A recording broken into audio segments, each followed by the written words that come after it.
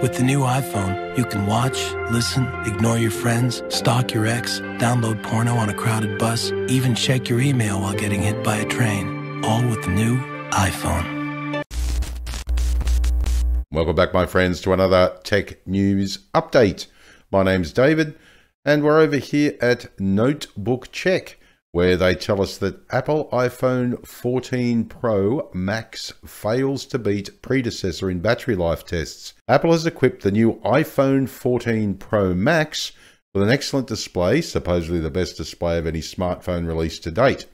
However, the iPhone 14 Pro Max cannot quite match expectations with its battery life, with Apple's latest flagship unable to outperform the iPhone 13 Pro Max.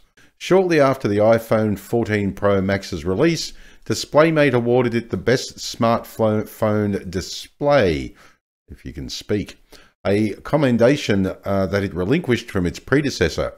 Still, the website was not a fan of the former's power consumption when using the camera app, which is on the high side. Similarly, the iPhone 14 Pro Max offers a relatively slow charging speed, whether using a wired or wireless connection.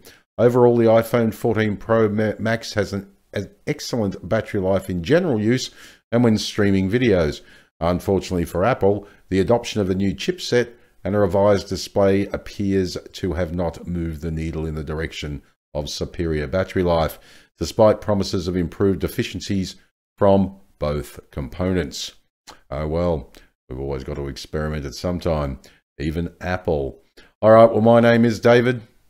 Thanks for joining me uh, for a, another tech news update. All right, well, I shall see you in the next episode.